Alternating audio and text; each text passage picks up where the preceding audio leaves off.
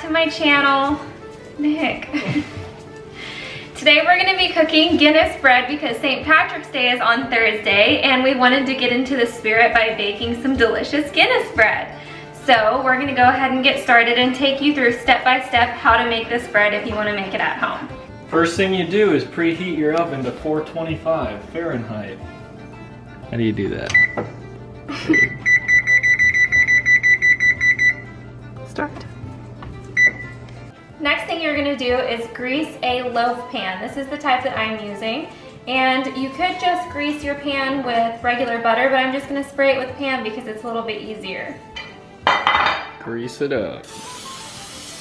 everywhere. Next, we're gonna do one cup of whole milk. Because there's no diets around this house. Now we're gonna do one teaspoon of Old English fish and chip vinegar. Because nothing tastes like vinegar like old fish and chip vinegar.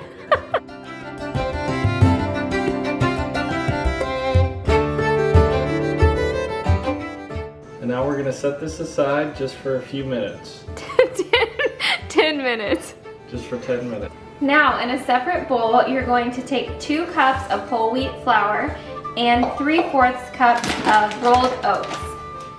In my home economics class, they told us to do this.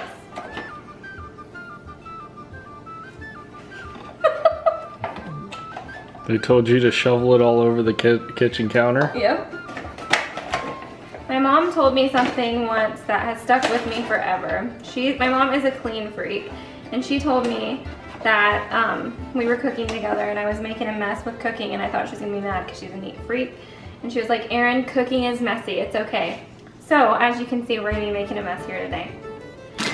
I'm using the Bob's Red Mill extra thick rolled oats and they're whole grain.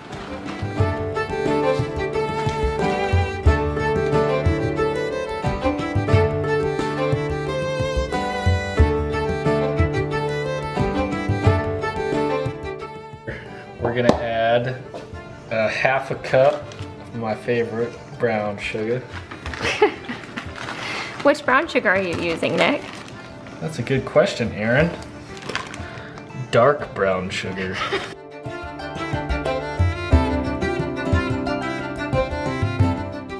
and now we're gonna add two teaspoons, or TSPs as the recipe calls for, of baking soda.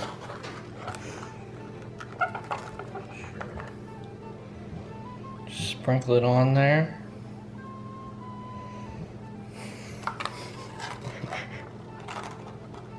You don't actually have to sprinkle unless you want to. Nick likes to do that when he cooks. He does this every time we cook a recipe. He likes to sprinkle it all around. Now we're gonna add one teaspoon of baking powder. Make sure this is baking powder and not baking soda.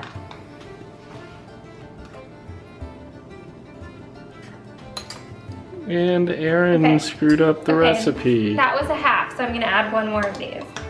Are you sure? Yep, this says one half teaspoon. So I put a total of one teaspoon in, but I used the wrong utensil. Now we're gonna add one half teaspoon of salt. The salt that I use is Nature's Finest Sea Salt. And this is my salt keeper right here that I keep my salt in. So I'm gonna get one half teaspoon of that. Maybe that's why that one time that you cooked that cake, it didn't settle right. Because you were using the half teaspoon wrong. Now you're going to combine all of these ingredients together.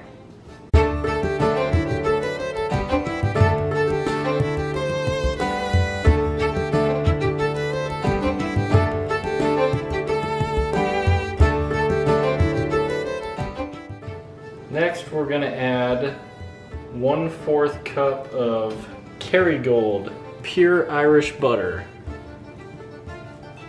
And it's gonna be melted, added into the milk mixture, which now has a giant hair in it. Okay, air. Nick.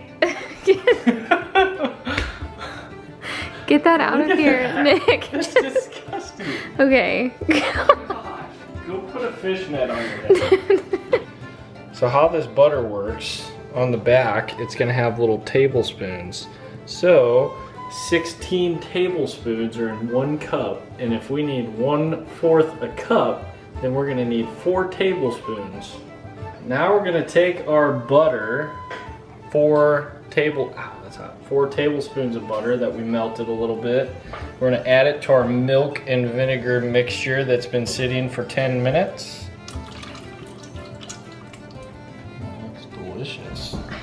Two teaspoons of pure vanilla extract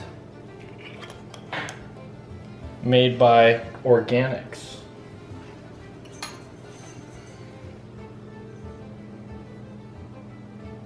Mm. And uh, a couple extra drops there for good luck. Two, right? Two. Wait, make sure. Vanilla. Yeah. Yeah.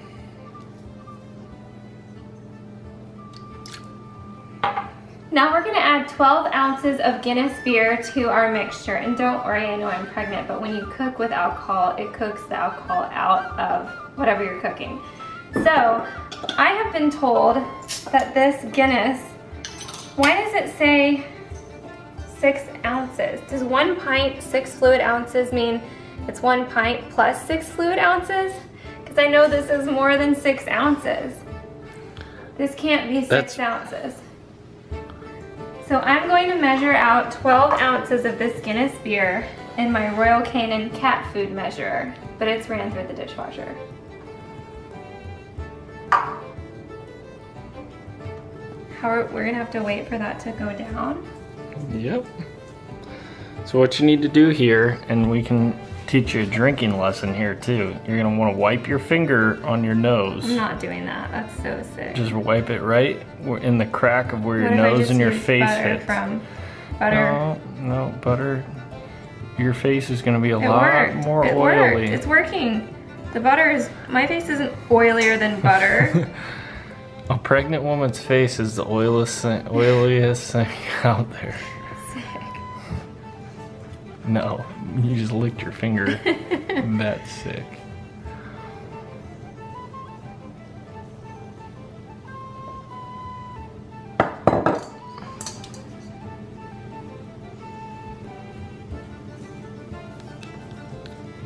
See, Aaryn just wiped her face with her finger and it didn't. just cuts right That's through that. butter. I used butter, guys. Okay, so this is eight ounces. Okay, so this is eight ounces right here. So we've proven that this is more than six ounces. So I think that this is one pint, six ounces. Why don't they just say how many ounces in general? Okay. Now all this is gonna be 12 ounces. Now we're gonna whisk the beer and butter and milk and vinegar concoction here. Whisk it up real nice.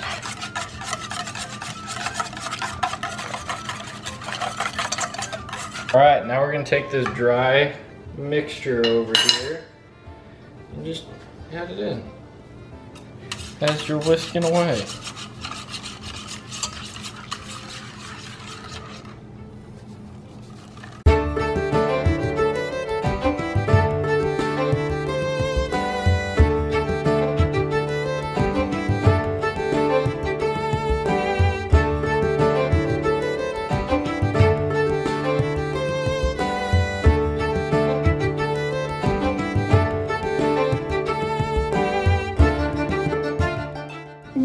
Going to pour this batter into the pan you prepared earlier.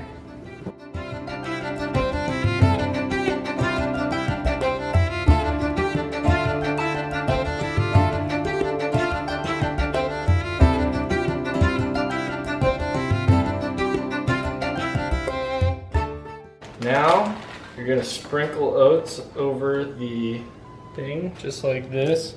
You actually throw it a little bit like you're seeding a field.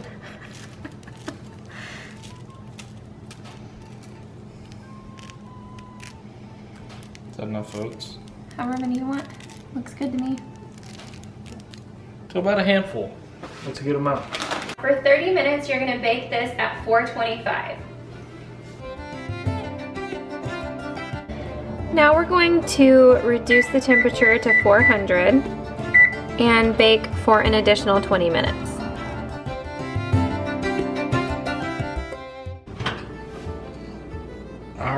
Now this needs to cool for 30 minutes before you can take it out of the pan.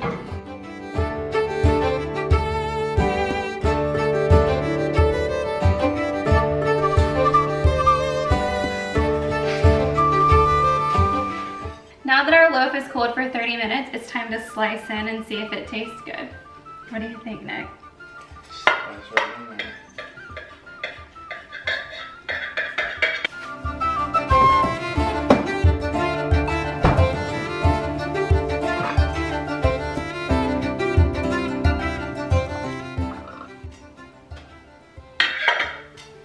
Can you get her? No bread for you.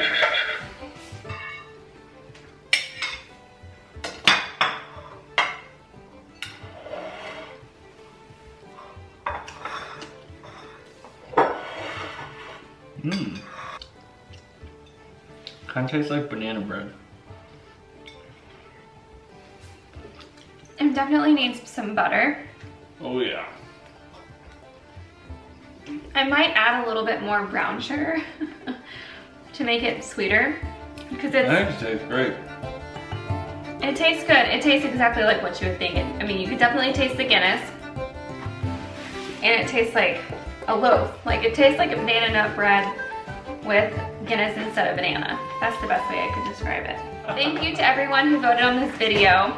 Every other Monday, I'm gonna be having a poll on my Twitter where you can vote for the content of my video. So next Monday, I'm gonna pick a video that I wanna do, and then the Monday after that, you guys can vote again for what you wanna see. So be thinking of things that you're interested in seeing, leave them in the comments, what do you guys wanna see next, and I'll go ahead and put it in the poll. But um, don't forget to give this video a thumbs up if you enjoyed Nick's commentary on this video, and subscribe to my channel, and I will see you guys on Wednesday for my pregnancy update. Bye. Thank you.